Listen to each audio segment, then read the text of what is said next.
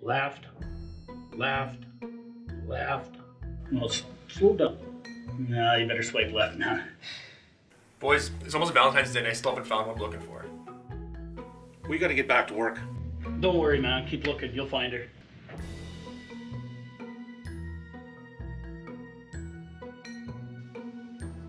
Whoa.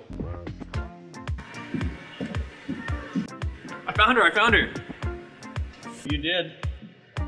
Yeah. Look at those curves. And I don't think this one's going to cost you everything you got. You got to swipe right.